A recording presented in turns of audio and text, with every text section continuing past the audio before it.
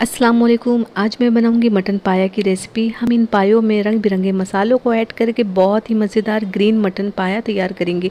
तो चलिए बनाना शुरू करते हैं। अगर आप मेरा वीडियो पहली बार देख रहे हैं तो प्लीज़ मेरे चैनल को सब्सक्राइब ज़रूर करें। मटन पाया बनाने के लिए हमें किन किन चीज़ों की ज़रूरत है, आइए देख लेते हैं। मैंने यहाँ पर चार पीसेस मटन पाया लिया है। इन पायों को अच्छी तरह से धोकर रख लेंगे। पायों को आटा लगाकर अच्छे से मसल कर धो लेने से जो बाल वगैरह होते हैं वो निकल जाते हैं और पाया अच्छी तरह से साफ़ हो जाता है। तो ये मैंने साफ़ करके रख लिया है तो हम इसे एक प्रेशर कुकर में ट्रांसफ़र कर लेंगे। आप चाहे तो कोई भी बर्तन में भी इसे बना सकते हैं, पर उसमें टाइम ज़्यादा लगेगा तो हम इसमें प्रेशर कुकर में पाया को उबालेंगे। तो इसमें तीन गिलास के करीब हम इसमें पानी ऐड करेंगे। आप पानी कम ज़्यादा कर सकते हैं, हम इसमें डालेंगे दो प्याज कटी हुई। अदरक लहसुन का पेस्ट टू टेबल स्पून हम इसमें डाल रहे हैं। डालेंगे एक दालचीनी का टुकड़ा वन टीस्पून काली मिर्च, दो तेज़पत्ता छः से सात लौंग। खड़े मसाले ऐड कर दिए तो वन टीस्पून हम इसमें कुकिंग ऑयल ऐड करेंगे, ताकि जो पाया बॉईल हो तो फिर वो बाहर ना आए। नमक अपने जायके के हिसाब से ऐड करना है, हल्दी पाउडर वन टीस्पून और इन पायों को अच्छे से मिक्स कर लेंगे।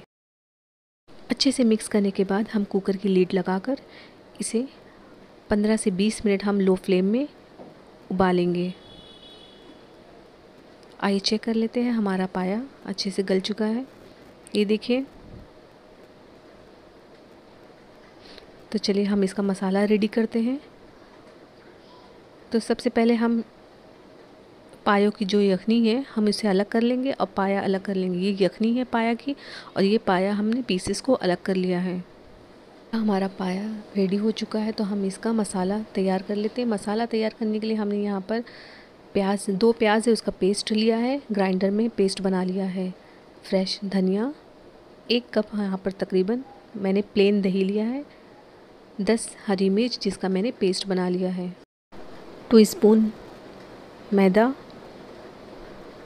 लहसुन पेस्ट वन टीस्पून, यहाँ पे कुछ मसाले पाउडर है, सौंठ वन टीस्पून, हल्दी पाउडर वन टीस्पून, धनिया पाउडर टू टेबल स्पून, सौंफ पाउडर है वन टीस्पून, ज़ीरा पाउडर वन टीस्पून, नमक अपने जायके के हिसाब से, गरम मसाला वन टीस्पून।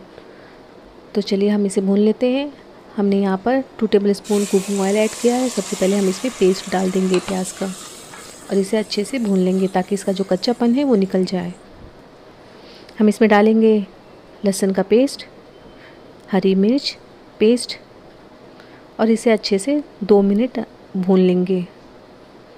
और बाकी जो मसाला पाउडर है, सब हम इसमें ऐड कर रहे हैं। इसे भी अच्छे से भून लेंगे।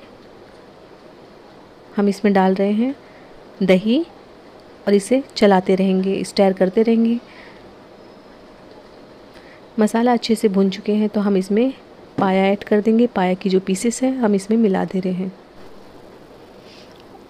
पाया की जो यखनी है, वो हम इसमें मिला दे रहे हैं। और इसे लो फ्लेम में दो मिनट अच्छे से पका लेंगे। ये देखिए, पक चुका है तो हम इसमें मैदा ऐड करेंगे। मैदा हमें डायरेक्टली नहीं मिलाना है। थोड़ा थोड़ा करके हम मैदा ऐड करेंगे और इसे स्टेयर करते रहेंगे, चलाते रहेंगे ताकि इसमें लम्स ना पड़े बिल्कुल भी। मैदा ऐड करने के बाद मैंने इसे दो तीन मिनट लो फ्लेम में अच्छे से पका लिया है। ये काफ़ी हद तक अच्छे से पक चुका है, पाया भी गला हुआ है तो हमें इसे ज़्यादा नहीं पकाना है।